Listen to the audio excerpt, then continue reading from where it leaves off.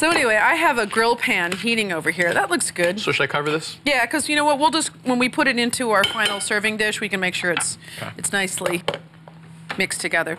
So hopefully this is just going to easily. oh, yep, beautiful. Ooh, and a nice little piece here for me too. Yum. Mmm. Oh gosh, that is amazing. All right, so all I'm doing is cutting some peaches up, and this is the simplest little dessert. And there's something about grilling the peach really caramelizes the sugars. But what I like to do is just get a little bit of olive oil on one side of the peach.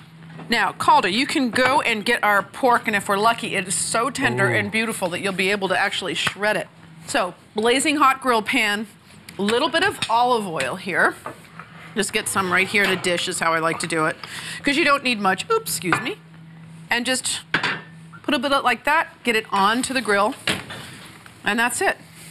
The oil just prevents it from sticking too much, and it also helps really add a beautiful little glaze to it. Right into a bowl, and while they're steaming hot, you just need a little bit of ice cream right on top. If you want to move on to the ice cream, you can move on to the ice cream and peaches, but I'm going back to the pork sandwiches because I can't even talk now until I get back to them. Thanks for watching. Hungry for more? Click here for more great recipes, and to subscribe, click here. Check back every week for more craveable recipes, leave a comment, and tell me what you think. And don't forget, head over to our other channels for Everyday Food with Sarah Carey, Martha Stewart Weddings, and the Martha Stewart channel.